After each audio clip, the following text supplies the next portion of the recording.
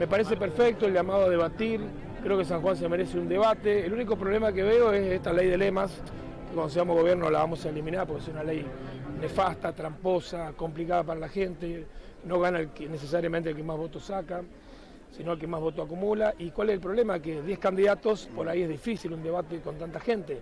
Pero bueno, nos, nos parece sumamente importante, ojalá que José Luis Gioja, Rubén Uñac, Marcelo Rego, Marcelo Lancibia y bueno, y todos los demás candidatos puedan debatir, puedan este, hablar sobre la provincia que queremos y qué le proponemos a los sanjuaninos. Creo que este, es algo muy bueno, ojalá que se dé.